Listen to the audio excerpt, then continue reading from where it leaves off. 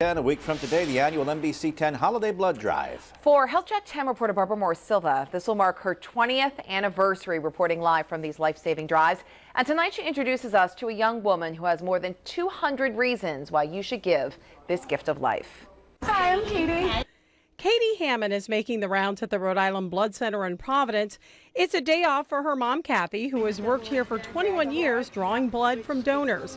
Together, they're thanking donors because of what donors did for Katie seven years ago when she was just 17.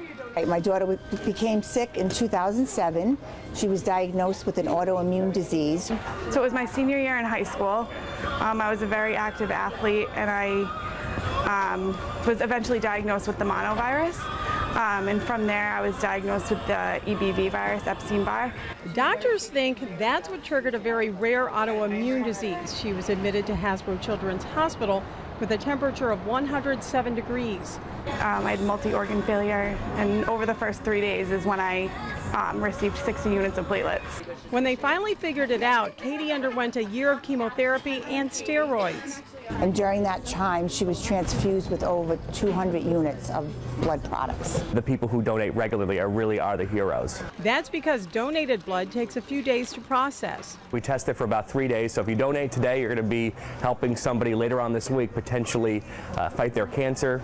They may be in an accident, they might get severe burns. You're going to be helping three people with your one donation. Katie is six years in remission today, thanks in part to blood donors. Right after um, I was out of the hospital, I knew that that's what I wanted to do. And that was to become a nurse. And since July, she's been working at the very hospital where she was diagnosed and successfully treated. And she'll be at our holiday blood drive. I'm probably going to donate. Something she's done regularly since she was medically cleared. This is Katie's way of giving back and helping others who need this life-saving gift. Now, I've been hosting these holiday blood drives since December of 1995, so this will be my 20th.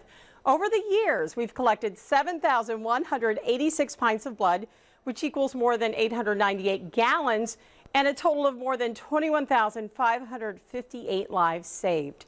And you can help us continue to make a difference at our NBC 10 Holiday Blood Drive, which is next Monday, December the 22nd, from 11 a.m. to 7 p.m. at the Crowne Plaza Hotel in Warwick.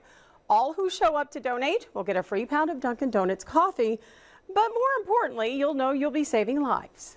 And that's Health Check. Barbara Morse Silva, NBC 10 News.